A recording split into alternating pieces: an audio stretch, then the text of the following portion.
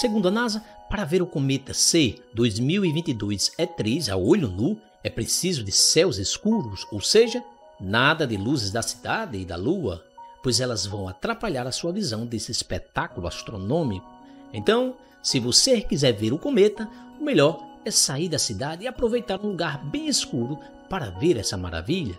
O Virtual Telescope Project anunciou que haverá uma transmissão ao vivo no seu canal do YouTube para que todos possam ver o cometa passar direitinho pelo seu perigeu, a posição mais próxima da Terra, que com certeza será um espetáculo incrível.